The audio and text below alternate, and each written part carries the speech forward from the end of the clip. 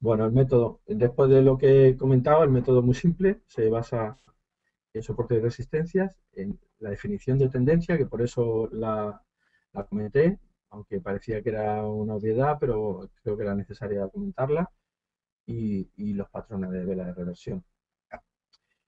Eh, bien, la, la, estructura del mercado, en este caso, por ejemplo, es una tensión, tensión eh, es una tendencia bajista, se produce una formación de suelo, en este caso ponemos que es una, un patrón 1, 2, 3, podría ser un hombro, cabeza, hombro, aunque al final la segunda parte del cabeza, hombro es un patrón 1, 2, 3 también.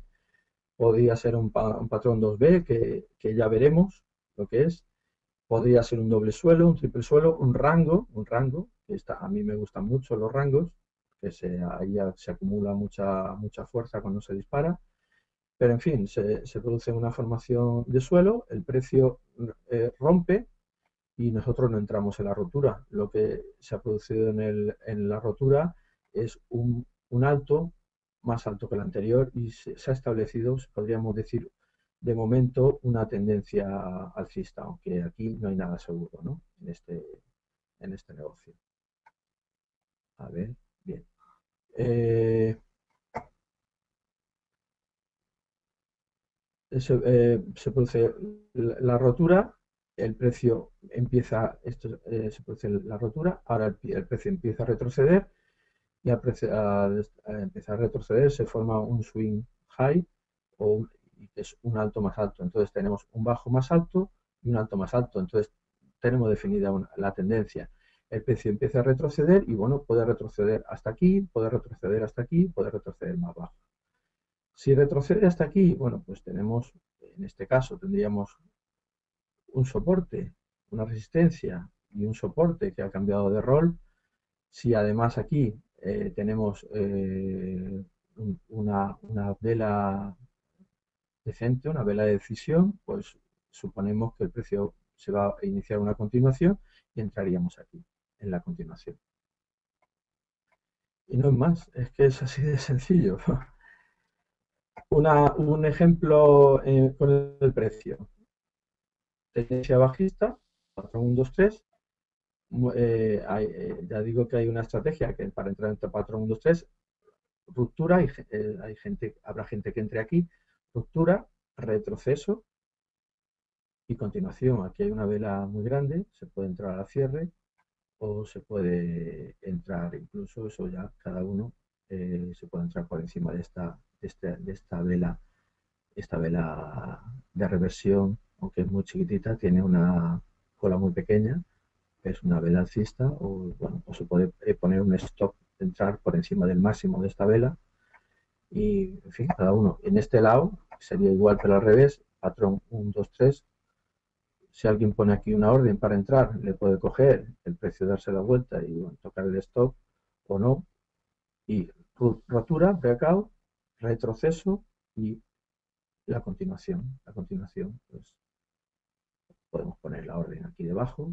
En fin, cuando veamos que el precio tiene intención de, bajar en este caso y bueno, y que se habrá formado aquí un alto más bajo que el anterior, este será un alto más bajo que el anterior y tenemos establecida una tendencia. Aquí ya he establecido una tendencia, este alto más bajo que este, este más bajo que este, este mínimo es más bajo que este y es más bajo que, el precio anterior. Entonces tenemos una tendencia. Nosotros vamos a entrar en, con la tendencia. Vamos a entrar con la tendencia y con lo que supone eso. Una tendencia eh, tiene, eh, tiene la, la, tendencia, por de, valga la redundancia, de continuar. Eh, es más probable que el precio vaya en la dirección de la tendencia. En fin, todo lo que hemos hablado en los fundamentos, ¿no? son obviedades, pero eso, en eso se basa esta, estrategia. Eh, el método, que lo que me preguntabais antes, bueno, pues yo lo que hago es que miro dos TF superiores y trabajo en M5, miro M15 y H1, trazo soportes y resistencias, líneas de tendencia también las marco. Esperamos una formación de suelo o techo, puede ser un patrón 1, 2, 3, puede ser un patrón 2B, puede ser un cabeza-hombro, puede ser un rango, porque el precio tiene una estructura. Hay una, zona de acumulación, que sería un, suelo, de mercado, hay una tendencia, después hay una zona de distribución, y después una tendencia bajista. Y más o menos el, mercado se comporta así en todos los, marcos temporales. Eh, ahora explicaré lo que es un patrón doble. Esperamos la rotura del nivel de soporte-resistencia como hemos visto, esperamos el retroceso al nivel de soporte o próximo a él, miramos a ver si hay confluencias, yo miro con números redondos, funcionan bastante bien, con pivots diarios, soportes y resistencia mayores, acordaos de cuando definí lo que era un soporte y resistencia mayor, no era aquel que había cambiado de rol, sino aquel en el que un soporte había sido tocado mínimo dos veces, y una resistencia igual, eh, eh, con, lows, con, mínimos. Eh, comprobamos que el retroceso, yo, por, por, ejemplo, miro que el retroceso esté comprendido entre un 40 y un 60%. Si el retroceso, a mí me retrocede, el, me retrocede el precio un 70%, pues sospecho, aquí hay mucha fuerza bajista, no voy a entrar. Muy claro lo tendría que tener para poder entrar. Entonces, pues esto son cosas que hay que ver. ¿eh? La herramienta de Fibonacci, pues es, es un, indicador más, una, una, una, un arma más. Esto no, ya como dije, esto no es una, un sistema mecánico. Esto hay que, hay que verificar cosas y tener eh, un poco de experiencia con ello. ¿no? Espero, si todo eso se ha, se ha, se ha habido confluencia, si el retroceso de Fibonacci es adecuado y además tengo una vela decente con un volumen decente y tal, digo, pues entro. Porque lo más probable es que el precio vaya en mi, en mi dirección. Si he querido buscar, aquí está entra la parte psicológica, he querido buscar un patrón porque tengo ganas de entrar en el mercado y tengo que encontrar el patrón como sea, y aunque no existe, yo lo veo y quiero que a la fuerza exista ese patrón porque tengo muchas ganas de entrar en el mercado, pues lo habré hecho mal. Y, además, la mayoría de las veces, eh, cuando falla es porque lo hemos hecho mal nosotros. Normalmente esto funciona bastante bien, ¿eh? funciona muy bien, diría yo. Entonces, y queremos ver a la fuerza, queremos ver el patrón en un sitio que no existe, pero nosotros queremos que exista, pues nada, mala suerte, eh, nos saldrá mal y tal. Otras veces, efectivamente, pues el precio ya en contra, no siempre funciona, ya hemos dicho que esto es una probabilidad y lo más probable es que ah, ocurra eso, pero también puede ocurrir lo contrario. Ponemos el stop, el stop loss, si, si vamos largos, debajo, esto otra vez que no funciona, el, otra vez, eh, si vamos largo, debajo del último swing, del último mínimo, esto lo podemos ver aquí. Vamos largos, ponemos el stop debajo de este, de este mínimo. Si el precio se da la vuelta, pues hemos entrado aquí y el precio está aquí, pues va a ser muy poco lo que vamos a perder. Sin embargo, si el precio se dispara, pues vamos a ganar muchísimo. De hecho, en cuanto empieza a subir, yo empiezo a, mover el stop y acercarlo, a disminuir riesgo. Si después el precio baja, hombre, siempre voy poniendo debajo de los últimos mínimos y con un poquito de, sin, sin, ahogar al precio, dejando el espacio, ¿no? Pero para que si el precio por cualquier cosa se da la vuelta, que no pierda lo que ya he ganado. Lo que no puedo es que si ya están ganancias, que una hay una cosa que se dice, que una operación ganadora no se convierta nunca en perdedora. Eh, esperamos el patrón o de velas o, bueno o la vela que nos dé o, la, o que nosotros creemos que eso va a ir bien entramos el swing hemos dicho llevamos el, break, el stop al break even en cuanto el precio haya avanzado razonablemente a nuestro favor y, yo salgo por lo menos en el próximo soporte, eh, soporte resistencia. Si vamos cortos soportes y vamos largos de resistencia.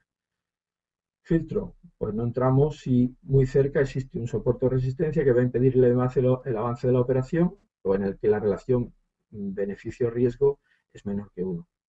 O sea, si el beneficio que voy a obtener es más pequeño, es dividido por la distancia del stop es menor que uno, pues no, pues no me compensa y no entro. Ventajas e inconvenientes de la estrategia. Ventajas.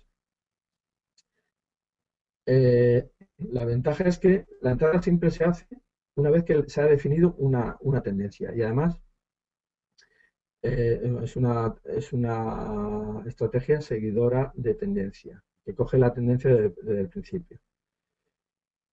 Efectivamente, cogemos la tendencia desde el principio.